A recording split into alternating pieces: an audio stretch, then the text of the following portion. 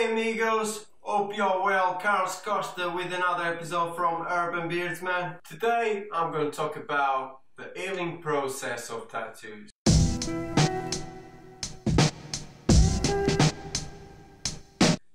Getting your ink is the highlight of the entire inking process. But you're not quite done once you leave the shop.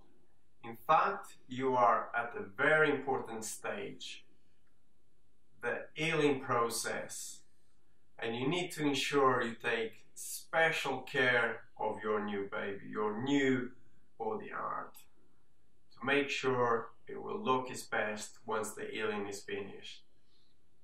Understanding the healing process of that tattoo, it will help you care for your tattoos in the long run. So I'm going to break it down into the three healing stages of tattoos. Stage one. This stage begins right after your tattoo is finished. And you can consider this area an open wound and I advise you treat it accordingly. Your artist will um, wash it and cover the area. Most artists use cling film this to protect it from bacteria. However, if your artist uses bandage, you'll probably have to change it at least a couple times a day. This because tattoos bleed and weep and it might stick to your skin. That's definitely not a good look for, um, for your tattoo. I like to describe the fresh tattoo feeling as similar to a sunburn. The area stings it's really hot, like you could fry egg on it, and looks red and sometimes very swollen. This is all part of the healing process, and at some point it will start um, scabbing. Do not pick those scabs. Just gently wash it with a light soap and clean it, pat clean it with a fresh clean towel and then apply a light amount of moisturizer.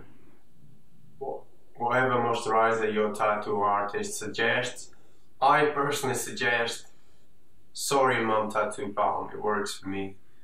Uh, I've been using it for quite a long time. Stage 2. The sealing stage usually brings on crazy, crazy itching. By this time, the scabs are well formed and beginning to flake off. The skin around the tattoo area might become a bit dry. Most of us will experience some peeling like you would with a sunburn. Try to avoid peeling the skin, just allow it to flake off naturally. And by all means, do not scratch your ink. Scratching will damage your tattoo by the time the healing process is finished. If you experience some itching, apply some aftercare lotion to relieve. And I'm afraid to say, but expect this process to last for at least another week. Stage 3. This stage brings the final healing to the area. By this point, most or all of the scabs are falling away from your tat. You may notice that your ink no longer looks as vibrant as it did when it was first finished. This is all normal. There's still a layer of dead skin around the area. But once that layer, the dead skin layer falls off, then you will see how your tattoo really should look like.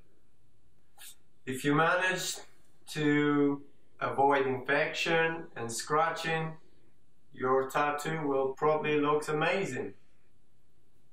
Things to avoid while your tattoo heals. Avoid swimming in the sea or swimming pools. Chlorine can damage the color and dye and dry the still tender skin around your tab.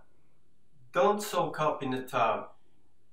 This will allow bacteria to penetrate the unhealed needle wounds. Avoid direct sunlight Do not expose your tattoo to the sunlight.